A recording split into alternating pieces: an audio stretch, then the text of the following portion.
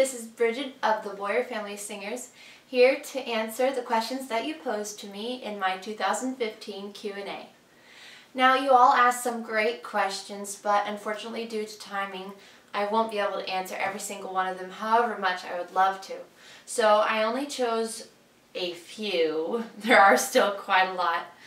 Um, but I chose the ones I think would be most interesting for you all to hear um, and the ones that were most frequently asked as well. So I hope you enjoyed this video and stay tuned for those questions. So first up we have sewing and creativity questions, a subject near and dear to my own heart. Mary asks, which do you prefer sewing on, modern or vintage sewing machines? Vintage. You just cannot top a vintage sewing machine with all metal parts that you can pretty much fix yourself and oil yourself and there's not this complicated you know, rigmarole about tuning it all up and the vintage.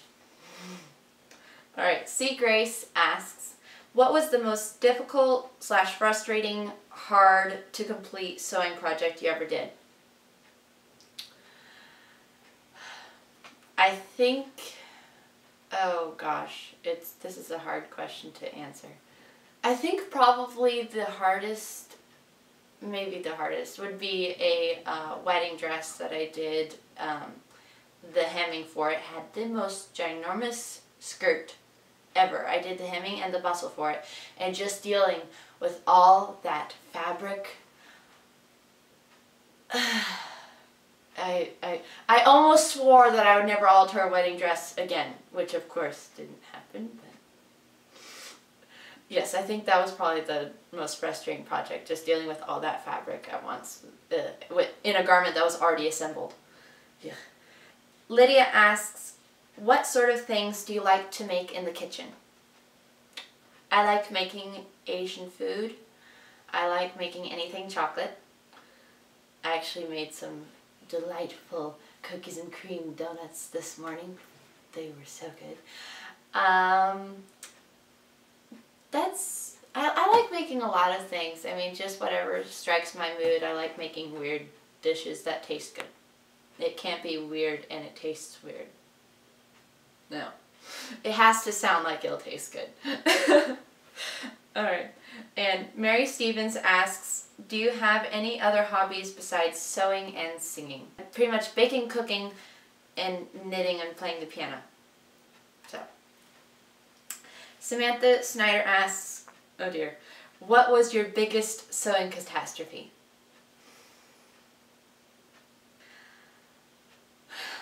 Oh! yes, Charlotte reminded me. I drafted, it was when I was first getting into pattern drafting and I had no idea what I was doing. And I had no idea about fitting patterns. I made myself a blue peach skin dress with an invisible zipper up the back. It was drop waist.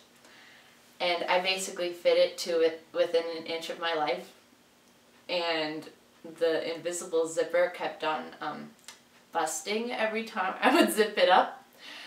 And so Jessica wore it for a singing performance one time. She was playing, uh, she was singing a Mary Poppins song. And she put on the dress, but the zipper bust right before we had to leave. So mom basically had to cut her out of the dress because we could not get the zipper back down. And so the dress was just shot. Esther asks, do you sew your sister's dresses like the USS Alabama sailor outfits or do you all work on them? Mom usually starts the process, so I will do any alterations to the pattern and all that, and I typically, the girls and I, we all work together on designing them.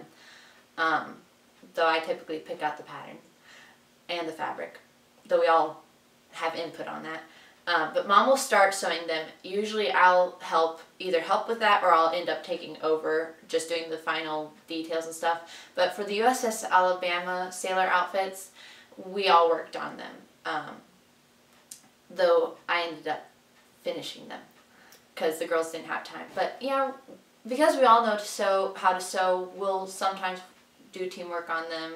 Sometimes I'll just do them or mom will just do them, whatever. So, Bonnie asks, what is your most favorite item of clothing you've ever sewed? I think it would have to be my 1940s yellow dress that I wore for Remembering World War II in 2014. I loved that dress. It was made with vintage rayon that I believe is from the 40s.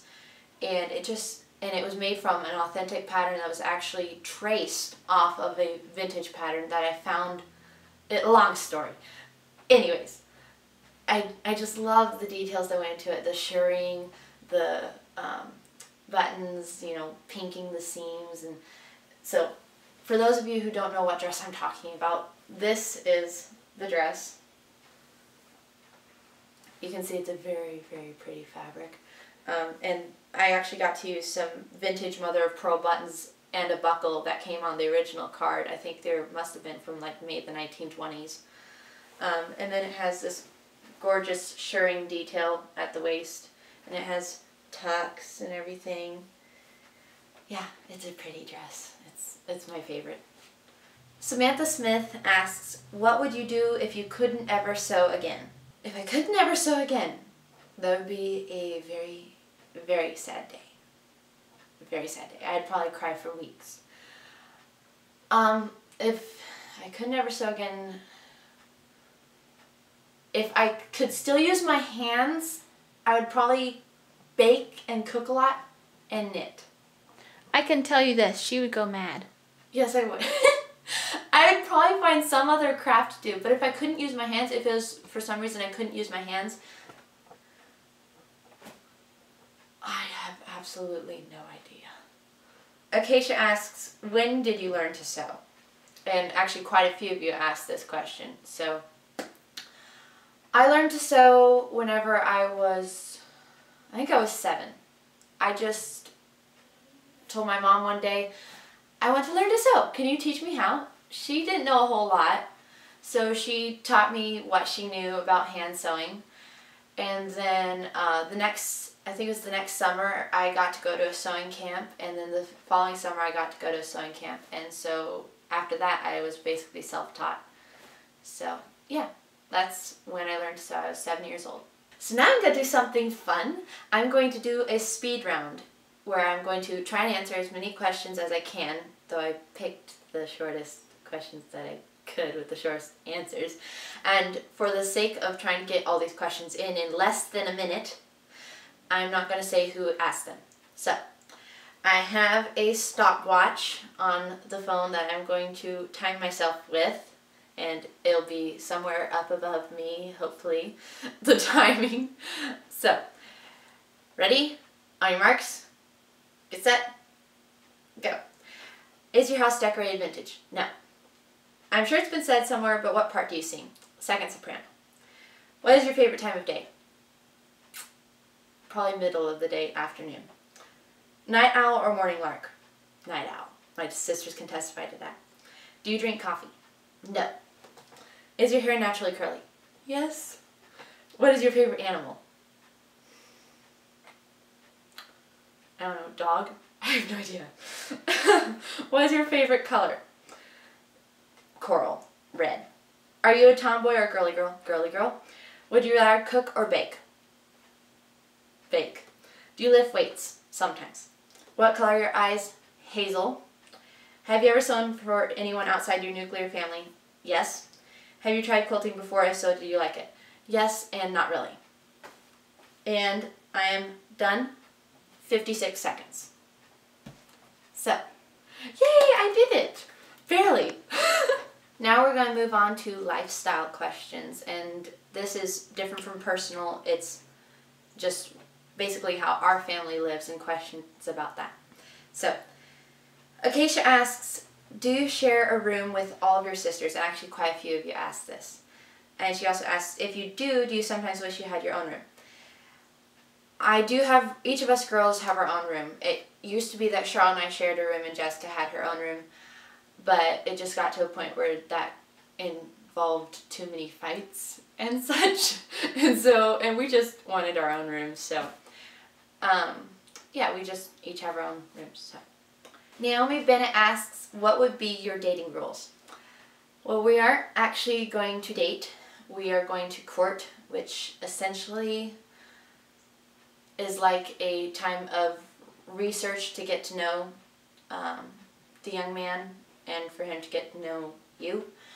I'm going to use me as an example. There's nothing going on with me right now as far as that sort of stuff, but I'm going to use it just to set up a scenario and show you what that looks like. He would go to dad, dad would interview him to make sure that he was even remotely compatible, you know, belief wise, um, you know, lifestyle wise, everything else um, with me. And then he would run the idea, dad would run the idea by me and see if I even liked or even was interested in the young man. And then after that, we would go through a period, it, the timing of that would all vary, but of getting to know one another, asking the hard questions, and, you know, just exploring if this, if the idea of getting married would even work. And the whole point of it would be to see if we are compatible for, for marriage. Um, it wouldn't be just like a time of playing around or whatever. It it's has a goal in mind. But it would be in such a way as if it doesn't work out, we wouldn't end up like being all awkward and, you know, not be able to be friends anymore or, you know. So that's basic dating, courting rules. Samantha Snyder asks, How and when did you and your sisters learn to dance, and do you get to dance very often? Um, we learned to dance, I think it was, I may have been eight or nine. It was at, it was back when we lived in Washington. Our church hosted a Heritage Weekend dance, and um, there was a family who taught the waltz and the polka, and then there was someone else who I believe taught the Virginia reel. Um, and so that was lots of fun. Unfortunately, we don't get a lot of opportunities to dance. We used to hold dances at our house like once or twice a year, um, starting with uh, Jessica's 16th birthday party. But we don't get to do that very often anymore just because of our singing schedule. But whenever we do, we enjoy it to the fullest. Camilla asks, and actually a few of you asked this, um, I think you're newer readers to our blog, so I completely understand you asking this. Um, she asks, are you girls homeschooled? I remember you mentioning it before. If so, have you always been homeschooled? Who decided to put you on homeschool and why? In my country, it's rather uncommon, so I'm curious to know. Yes, um, we were homeschooled. Jessica and I are graduated. Charlotte's the baby of the family, and she's the only one still in school. Um, we were homeschooled all our lives. All our lives, that sounds really weird to say, but yeah, all, all our lives. It basically means, basically it was mom and dad, they believed about teaching that it extends past the nine to three typical school hours. You know, it's, you learn every single moment, every single second of your life. So and it, it co- clearly commands in the Bible that, you know, you are to teach your children every hour of the day eh, with everything you do. And so mom and dad just really took that to heart and they saw a wonderful example of a family that they knew and the ways that their children had grown up. They had been homeschooled, these children were, and they were just so respectful and confident and they just had they were so strong in their faith and mom and dad really wanted that for their children we i don't think we girls were even born yet when they decided this and so they they just knew we have to homeschool we are going to do this. And i think it was the best decision that they could have ever made. I would not want it any other way